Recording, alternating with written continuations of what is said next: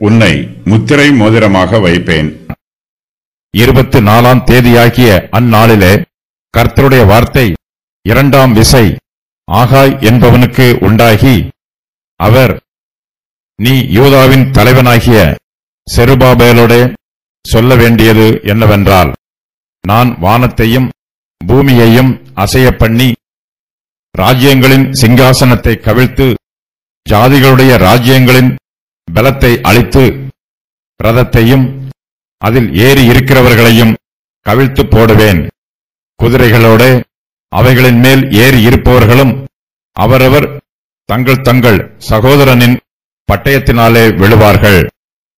சேனைகளின் கர்த்தர் சொல்லுகிறார் செயல்தியேலின் குமாரனாகிய சொருபாபேல் என்னும் என் ஊழியக்காரனே உன்னை நான் அந்நாளிலே சேர்த்துக்கொண்டு உன்னை முத்திரை மோதிரமாக வைப்பேன் என்று கர்த்தர் சொல்லுகிறார். நான் உன்னை தெரிந்து கொண்டேன் என்று சேனைகளின் கர்த்தர் உரைக்கிறார் என்று சொல் என்றார். ஆகாய் தீர்க்கதரிசி இதுவரையிலும் சிறையிருப்பில் இருந்து திரும்பி வந்த யூதர்களுக்கு பொதுவான செய்தியை சொன்னார்.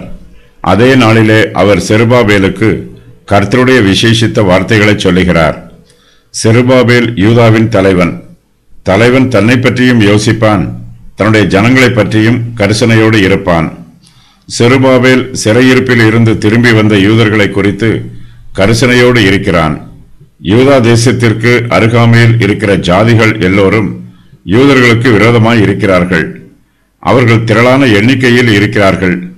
அவர்களிடத்தில் இராணுவ பலமும் மிகுதியாய் இருக்கிறது. சிறையிருப்பில் இருந்து திரும்பி வந்திருக்கிற யூதர்களோ சொற்ப எண்ணிக்கையில் இருக்கிறார்கள். இவர்கள் பலவீனராயும் இருக்கிறார்கள். செருபாபேல் பலவீனமாய் இருக்கிற யூதாவுக்கு தலைவன்.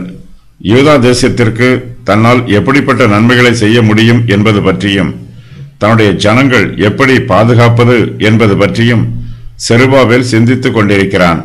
அந்த வேளையிலே கர்த்தருடைய வார்த்தை ஆகாய் தீர்க்கதரிசியின் மூலமாய் செருபாபேலுக்கு உண்டாயிற்று. நீ யூதாவின் தலைவனாகிய செருபாபேலோட சொல்ல வேண்டியது என்று சொல்லி கர்த்தர் தம்முடைய செய்தியை ஆகாய் தீர்க்கதரிசிக்கு வெளிப்படுத்துகிறார். செருபாபேல் கர்த்தரையும் கர்த்தருடைய சர்வ வல்லமையையும் அவர் செய்யப் போகும் பலத்த கிரியையையும் நம்ப வேண்டும். கர்த்தர் வானத்தையும் பூமியையும் அசைய பண்ணுவார். இந்த பூமியானது ஒரு சமுத்திரத்தைப் போல அல்லது ஒரு சக்கரத்தைப் போல எப்போதும் அசைந்து கொண்டிருக்கிறது. சில சமயங்களில் இந்த அசைவு மிகவும் பயங்கரமான பெரிய அசைவாக இருக்கும். துஷ்டர்கள் பூமியில் இருந்து உதறி போடப்படும்படிக்கு அதன் கடையாந்தரங்களை பிடிக்கும் பொருட்டு உன் ஜீவகாலத்தில் எப்போதாவது நீ விடியற்காலத்துக்கு கட்டளை கொடுத்த அருணோதயத்துக்கு அதன் இடத்தை காண்பித்தது உண்டோ? பூமி முத்திரையிடப்பட்ட களிமண் போல வேறே ரூபம் கொள்ளும். சகலமும் வஸ்திரம் தரித்திருக்கிறது போல் காணப்படும். யோபு முப்பத்தி எட்டு பன்னிரண்டு முதல் பதினான்கு வரை. பூமி அசையும் போது துஷ்டர்கள் பூமியில் இருந்து உதறி போடப்படுவார்கள்.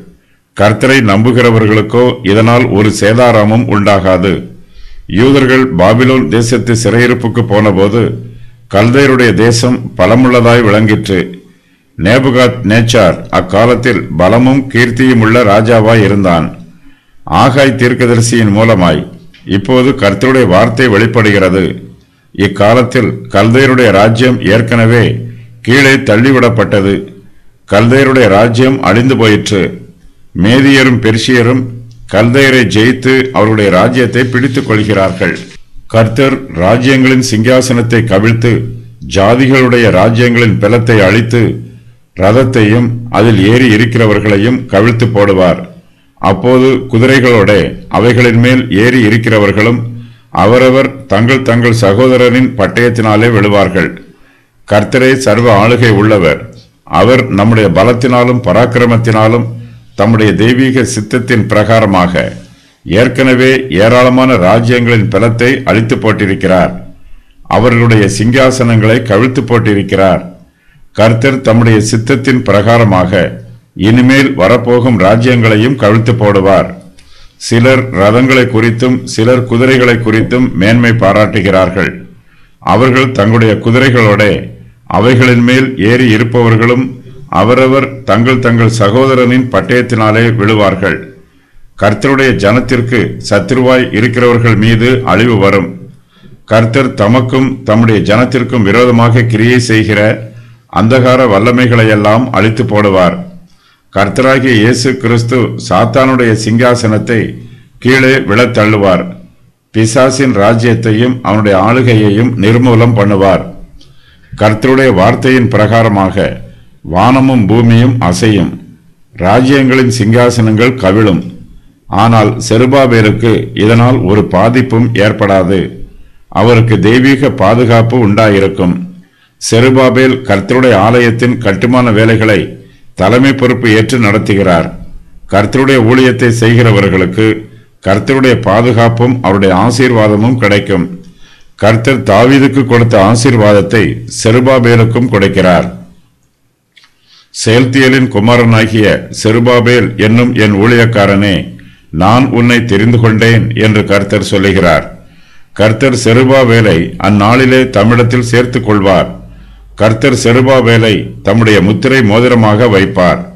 தாவீது தனக்கு ஒரு வீட்டை கட்டியது போல செருபாவேலும் தனக்கு ஒரு வீட்டை கட்டுவார். வானமும் பூமியும் அசைந்தாலும் தாவீதின் குடும்பம் அசையவில்லை. அதுபோலவே செருபாபேலின் குடும்பத்தாரும் அழிந்து போகாமல் நிலைத்திருப்பார்கள். கர்த்தர் செருபாபேலுக்கு ஆறுதலான வார்த்தைகளை சொல்லுகிறார். கர்த்தருடைய ஆசீர்வாதமான வார்த்தைகள் செருபாபேலுக்கும் அவருடைய பின் சந்ததியாருக்கும் சந்தோஷத்தையும் உற்சாகத்தையும் கொடுக்கிறது. கர்த்தர் செருபாபேலுக்கு சொல்லுகிற ஆசீர்வாதத்தில் இயேசு கிறிஸ்துவை பற்றிய விசேஷித்த குறிப்பும் காணப்படுகிறது. கிறிஸ்துவானவர் செருபாபேலின் சந்ததியில் வந்திருக்கிறார். செருபாபேல் கர்த்தருடைய ஆலயத்தை கட்டுகிறார். கிறிஸ்துவானவர் சுவிசேஷ ஆலயத்தை கட்டுகிறார். கர்த்தர் செருபாபேலை தம்முடைய ஊழியக்காரனாக தெரிந்து கொண்டார். கர்த்தர் செருபாபேலை பற்றி செல்லும்போது செருபாபேல் என்னும் என் ஊழியக்காரனே என்று சொல்லுகிறார். கர்த்தர் செருபாபேலை தம்முடைய ஊழியக்காரனாக தம்மிடத்தில் சேர்த்துக் கொள்கிறார் தம்முடைய ஊழியத்தை செய்வதற்காக கர்த்தர் அவரை தெரிந்து கொள்கிறார் கர்த்தர் செருபாபேலை தம்முடைய ஊழியக்காரராக தெரிந்து கொண்டதை உறுதி பண்ணும் வண்ணமாக கர்த்தர் அவரை முத்திரை மோதிரமாக வைக்கிறார். கோனியா கர்த்தருடைய வலது கையின் முத்திரை மோதிரமாய் இருந்தான். ஆனால் கர்த்தரோ அவனை கலற்றி எரிந்து விட்டார். யூதாவின் ராஜாவாகிய யோயாக்கீமின் குமாரன் கோனியா என் வலது கையின் முத்திரை மோதிரமாய் இருந்தாலும் அதில் இருந்து உன்னை கலற்றி எரிந்து போடுவேன் என்று என் ஜீவனை கொண்டு சொல்லுகிறேன் என்று கர்த்தர் சொல்லுகிறார். எரேமியா இருபத்தி இரண்டு இருபத்தி நான்கு. செருபாபேல் கர்த்தருக்கு பிரியமானவனாகவும் பிரயோஜனம் உள்ளவனாகவும் இருப்பான். செருபாபேலின் பின் சந்ததியார் கர்த்தரிடத்தில் பக்தியுள்ள ஜனமாக இருப்பார்கள். மேசியாவாகிய இயேசு கிறிஸ்து செருபாபேலின் சந்ததியிலும் வருவார். முத்திரை மோதிரம் ராஜாக்களின் அதிகாரத்திற்கு அத்தாட்சியாய் இருக்கிறது. அப்பொழுது ராஜா தன் கையில் இருக்கிற தன் மோதிரத்தை கழற்றி அதை ஆகாகியனாகிய அமுதத்தாவின் குமாரனும் யூதரின் சத்ருவுமாகிய ஆமானிடத்தில் கொடுத்து ஆமானை நோக்கி அந்த வெள்ளியை நீ வைத்துக்கொள் அந்த ஜனத்துக்கு உன் இஷ்டப்படி செய்யலாம் என்றான். எஸ்தர் மூன்று பத்து பதினொன்று. நம்முடைய கர்த்தராகிய இயேசு கிறிஸ்து பிதாவாகிய தேவனுடைய வலது கரத்திலே முத்திரை மோதிரமாய் இருக்கிறார். பிதாவின் எல்லா அதிகாரமும் குமாரனுக்கு கொடுக்கப்பட்டிருக்கிறது. குமாரன் பிதாவினிடத்திலிருந்து அதிகாரங்களை பெற்றுக்கொள்கிறார். கர்த்தராகிய இயேசு கிறிஸ்துவுக்குள்ளே தேவனுடைய எல்லா வாக்குத்தத்தங்களும் ஆம் என்றும் ஆமேன் என்றும் உறுதி பண்ணப்பட்டிருக்கிறது கர்த்தருடைய வார்த்தை இரண்டாம் விசை ஆகாய் தீர்க்கதரிசிக்கு உண்டாயிற்று. இது இஸ்ரவேல் புத்திரருக்கு ஆகாய் கூறும் ஐந்தாவது செய்தியாகும். இதுவே அவருடைய கடைசி செய்தியாகும். கர்த்தருடைய ஆலயத்தின் அஸ்திவாரம் போடப்பட்ட நாளில் ஆகாய் இந்த செய்தியை கூறுகிறார். நிறைவேற வேண்டிய முன்னறிவிப்புகள். நான் வானத்தையும் பூமியையும் அசைய பண்ணுவேன். ராஜ்யங்களின் சிங்காசனத்தை கவிழ்ப்பேன். ஜாதிகளுடைய ராஜ்யங்களின் பலத்தை அழிப்பேன். ரதத்தையும் அதில் ஏறி இருக்கிறவர்களையும் கவிழ்த்து போடுவேன். குதிரைகளோடு அவைகளின் மேல் ஏறி இருப்பவர்களையும் கவிழ்ப்பேன். அவரவர் தங்கள் தங்கள் சகோதரனின் பட்டயத்தினாலே விழுவார்கள். செயல்தியரின் குமாரனாகிய செருபாபேல் என்னும் என் ஊழியக்காரனே உன்னை நான் அந்நாளிலே சேர்த்து கொண்டு உன்னை முத்திரை மோதிரமாக வைப்பேன். நான் உன்னை தெரிந்து கொண்டேன். கர்த்தர் வானத்தையும் பூமியையும் அசைய பண்ணுவார். வானத்தையும் பூமியையும் அசைய பண்ணும் சம்பவம் இயேசு கிறிஸ்துவின் இரண்டாம் வருகையின் போது கர்த்தருடைய நாளில் நடைபெறும். அதற்கு முன்பு உபத்திரவ காலத்திலும் இந்த சம்பவம் நடைபெறும். இந்த சம்பவம் மறுபடியும் வானமும் பூமியும் புதுப்பிக்கப்படும் போது நடைபெறும். கர்த்தர் ராஜ்யங்களின் சிங்காசனத்தை கவிழ்த்து போடுவார். ராஜ்யங்களின் சிங்காசனத்தை கவிழ்ப்பதும் ஜாதிகளுடைய ராஜ்யங்களின் பலனை அழிப்பதும் இயேசு கிறிஸ்துவின் இரண்டாம் வருகையின் போது நடைபெறும் சம்பவங்களாகும். அப்போது அவர் இந்த பூமியில் உள்ள ராஜ்யங்களை எல்லாம் தம் வசமாக்குவார். யூதாவின் தலைவனாகிய செருபாவேலை கர்த்தர் தெரிந்து கொண்டார். செருபாவேலை கர்த்தர் தம்முடைய முத்திரை மோதிரமாக தெரிந்து கொண்டார். சிறையிருப்புக்கு பின்பு இஸ்ரவேலுக்கு ராஜா யாரும் நியமிக்கப்படவில்லை. ஆகையினால் செருபாபேல் இங்கு தலைவர் என்று அழைக்கப்படுகிறார். யோயாக்கின் அல்லது எகோனியாவின் வம்சத்தில் யாரும் இஸ்ரவேலின் சிங்காசனத்தில் அமர்ந்து ராஜாவாக ஆட்சி புரிவதில்லை என்று கர்த்தர் வாக்கு பண்ணி இருக்கிறார். கர்த்தருடைய வார்த்தை நிறைவேறிற்று. இஸ்ரவேல் புத்திரர் பல காலமாக ராஜா இல்லாமலும் அதிபதி இல்லாமலும் பலிகள் இல்லாமலும் ஏபோத் தேராபீம் ஆகியவை இல்லாமலும் இருக்கிறார்கள். மேசியாவின் காலத்தில் அவர்கள் மறுபடியும் ஒரு தேசமாக ஸ்தாபிக்கப்படும் வரையிலும் அவர்களுக்கு ராஜாவாக யாரும் இருக்க மாட்டார்கள்.